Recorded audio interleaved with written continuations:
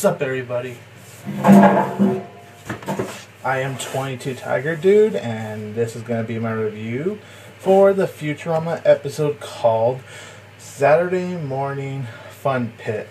Alright, so this is another one of those Futurama episodes where they do three different segments. This one's like for different cartoon animation styles.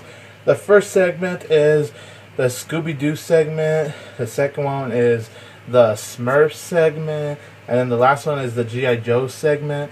So I am going to review segment by segment by segment and then range them all into what my overall score is. Bendee Boo and the Mystery Crew. wow. so obviously, just judging by that title, you could see that it's a, a Scooby Doo parody. This segment right here I honestly gotta say, this was a really enjoyable segment. I had a lot of fun. Bender as Scooby Doo, classic. Fry as Shaggy, wow, that was awesome. Everyone actually fit the Scooby Doo characters very well. The animation on them looks breathtaking.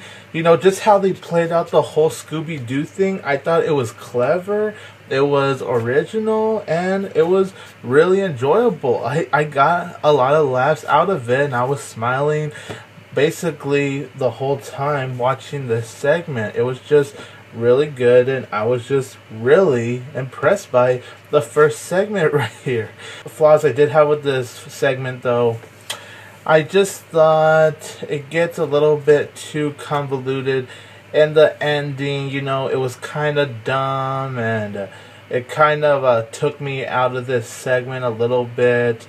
So, you know, I wasn't a big fan of how they played out the ending. It was just kind of like dumb and they rushed it too in my honest opinion. But overall, I had a fun time with Bendee Boo and the Mystery Crew, the first segment, and I'm going to give this segment a 9 out of 10.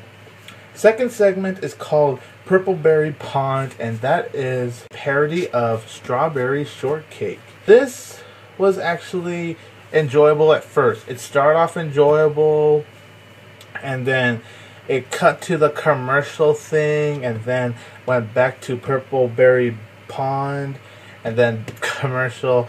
Uh, yeah, I'm just gonna say this. This is not a very good segment. It's not horrible, but it was very distracting because I get it that they were trying to do it for comic relief and once or twice was fine, but then they really overplayed it as the second segment was coming along.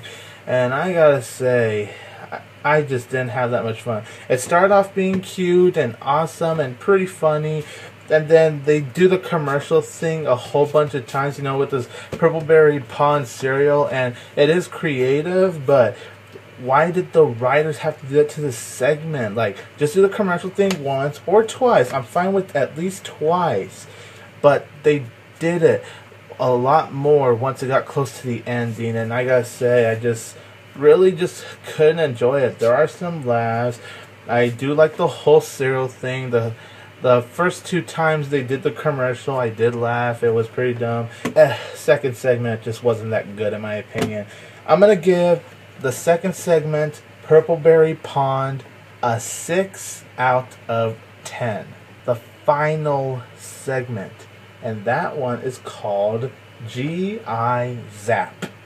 Yeah, that is a parody of G.I. Joe. Man.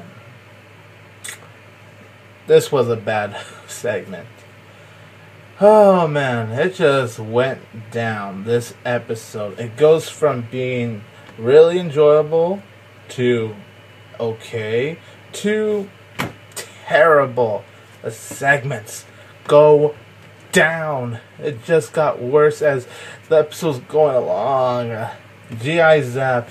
I'll admit, I laughed a couple of times at the dumb moments that they brought to the segment Plus, how the episode ended because, you know, there was a little side brief plot with the governor try, uh, enjoying the cartoons, but everyone in town wanted uh, the governor to try to pick cartoons that are more appropriate for the children. you know, give them nice lessons. And so, how the governor's side of the segment was going on, I thought that was pretty funny. And I gotta say, I did get a good laugh out of the ending of this whole episode.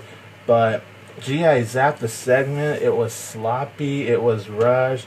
They really got carried away with the segment. Like, they really tried to overdo it. It was just dumb. It got me pretty angry as I was watching it just because of how unbelievably sloppy and rushed and, ugh.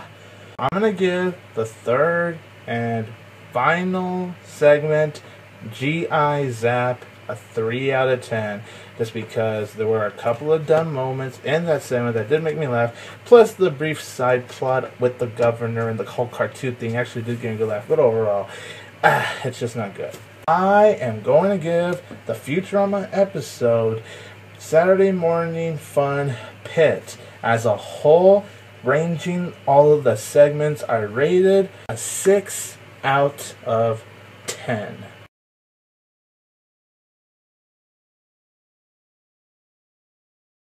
Subscribe, like, and share. Follow me on Facebook, on Twitter. Comment your opinion on this Futurama episode. Don't forget that I will always have Tiger Power!